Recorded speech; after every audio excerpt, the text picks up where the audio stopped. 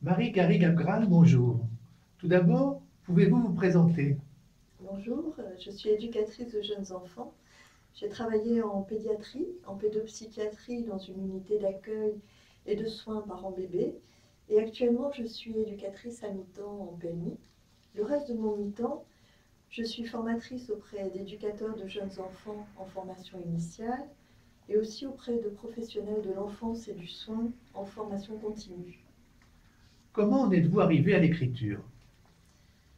Un besoin d'écrire m'est venu suite à de nombreuses questions concernant l'éthique envers les bébés et leurs familles liées à mon parcours professionnel. Ceci m'a amené à pousser ma réflexion en m'aidant de différents auteurs.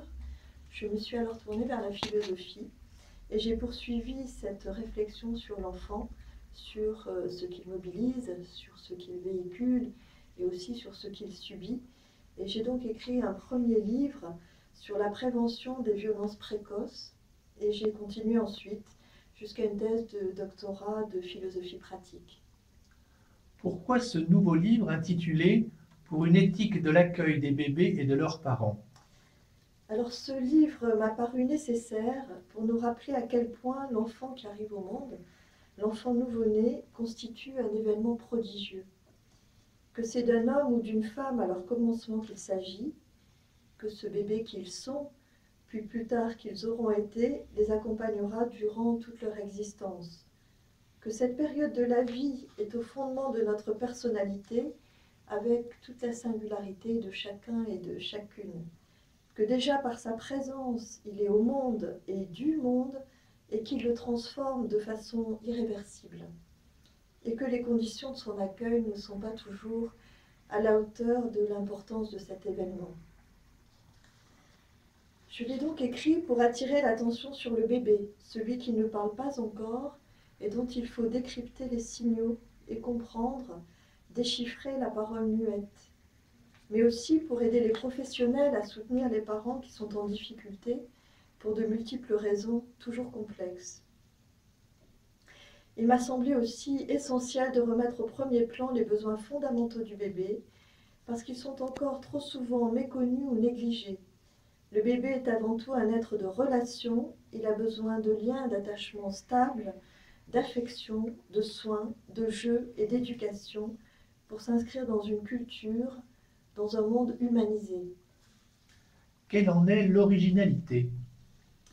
Alors l'originalité réside dans son approche. Elle s'appuie sur des situations vécues et singulières que j'ai rencontrées avec des équipes pluridisciplinaires tout au long de ma vie professionnelle.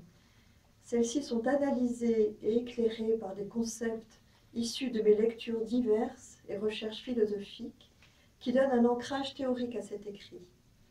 Tout ceci dans le but de mieux comprendre les pratiques dans le domaine de la périnatalité et de la petite enfance en questionnant les habitudes autour du bébé et d'agir pour un meilleur accueil des enfants et de leurs familles. Quelles en sont les grandes lignes et idées de votre ouvrage? Chaque enfant entraîne un bouleversement dans son entourage. Il devient une source d'émerveillement et aussi d'angoisse et pose de multiples questions. Ce livre aborde la complexité des interactions parents-bébés à travers des vignettes cliniques il pointe aussi l'ambivalence des adultes à l'égard des enfants que l'on retrouve dans les familles, chez les professionnels, mais aussi chez les chercheurs qui s'intéressent aux bébés. Il vient ainsi questionner la notion de bientraitance, tant au niveau interpersonnel qu'à un niveau politique.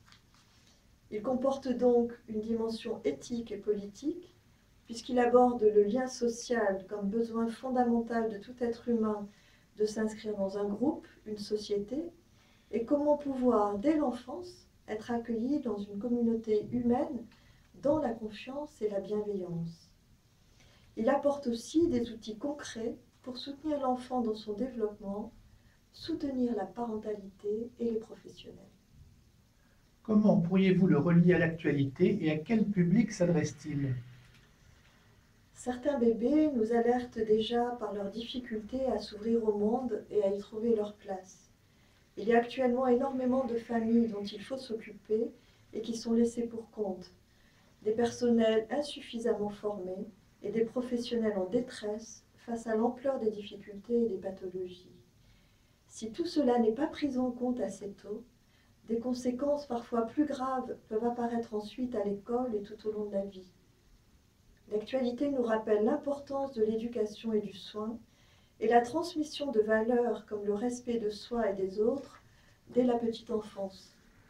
Les lieux d'accueil parents-bébés qui sont évoqués dans cet ouvrage peuvent offrir des espaces de prévention et de prévenance et orienter, quand c'est nécessaire, vers des lieux plus spécialisés de soins, aujourd'hui encore insuffisants. Ce livre s'adresse donc à des politiques, des administratifs, à des parents, à des étudiants et professionnels de l'enfance, à tout soignant et à tout être humain qui s'interroge sur ce qu'est l'homme et sur sa place dans la société et dans le monde. Merci pour cette présentation. Je vous remercie.